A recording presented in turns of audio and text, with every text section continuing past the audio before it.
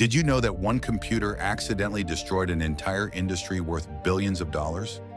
In 1978, Digital Equipment Corporation was riding high on their PDP-11 minicomputer success.